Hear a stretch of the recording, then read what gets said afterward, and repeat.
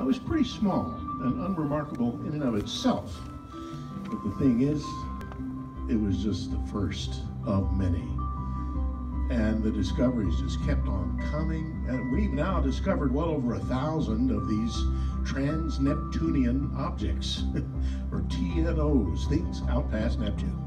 Uh, and we really think that's the tip of the iceberg. We expect to find millions of these objects in a part of our solar system that we now call the Kuiper Belt. Now, the thing about a lot of these objects that we're finding is that many of them are a lot like Pluto. Their orbits don't tend to be that round. Um, they're tilted with respect to the inner solar system, many of them. So, you know, we used to think of Pluto as an oddball planet, but now we're beginning to recognize it as the first known member of perhaps millions of members of the Kuiper Belt. It's rewritten the book on this part of our solar system. And together, all these new objects are hinting at something even more remarkable way out there past Neptune.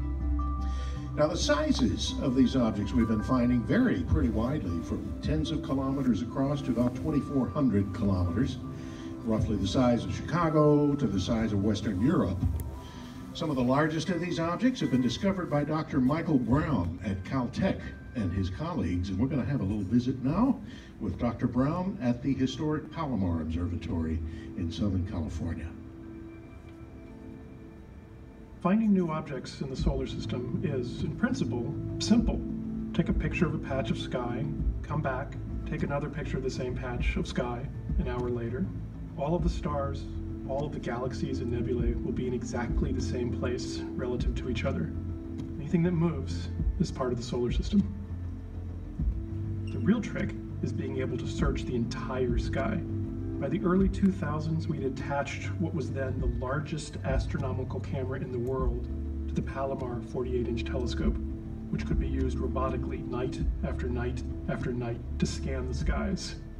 Even with this amazing machine, it still took us nearly five years to take enough images to cover the night sky.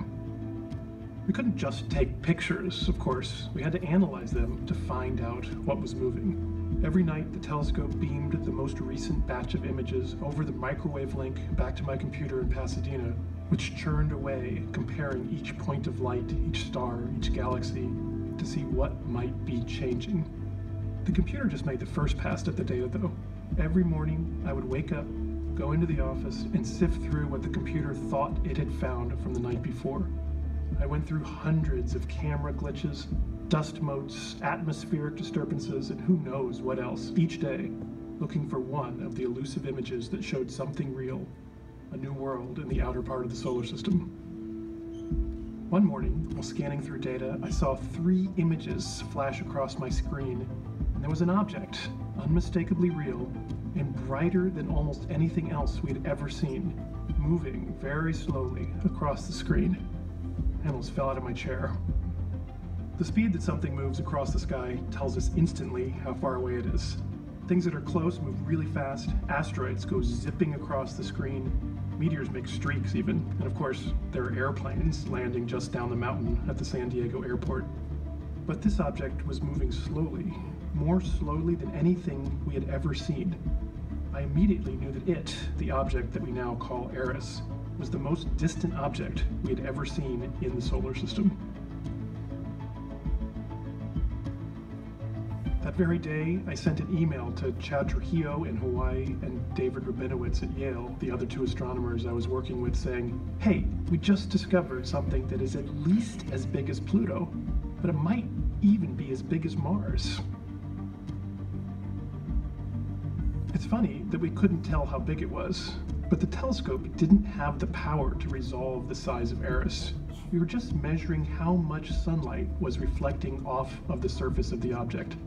The same amount of sunlight is reflected off of a very large dark surface as a tiny icy surface. We didn't know which one we were looking at. We needed the sharpest views available, so we wrote a quick proposal to the director of the Hubble Space Telescope essentially saying, so hey, you know, we, we found something and it's as big as Pluto or maybe bigger. Will you take a picture of it with your telescope? And they said, uh, yeah. So they took this picture and we thought, well, we didn't quite know what to think. We thought it might be big, it might show continents, it might show mountains. And uh, here's the picture we got. Eris is small. It's about the same size as Pluto, which also means that to be so bright, it has to be incredibly reflective. How reflective? Eris reflects an astounding 97% of the light it gets from the sun. By comparison, freshly fallen snow only reflects about 75%. How is it so reflective? Our best guess is that when Eris is closer to the Sun, it has a nitrogen atmosphere like Pluto, but when its orbit takes it further away, that atmosphere freezes out, leaving behind a layer of fresh, highly reflective nitrogen frost. Then we discovered Dysnomia, a moon orbiting Eris. The great thing about having a moon is that it lets you weigh the object it is orbiting.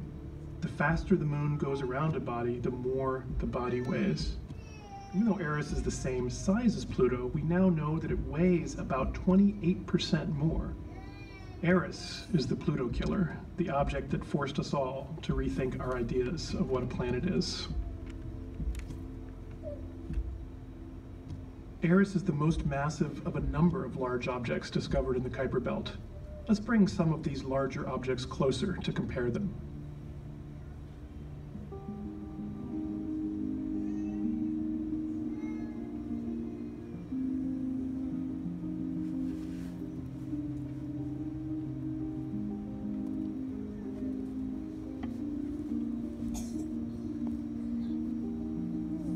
Is the only object beyond Neptune that a robotic spacecraft has visited.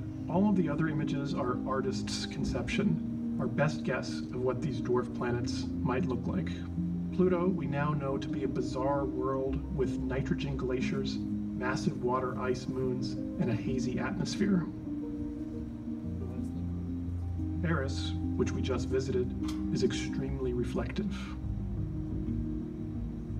Makemake is about two thirds the size of Pluto and Eris and is covered in thick slabs of frozen methane.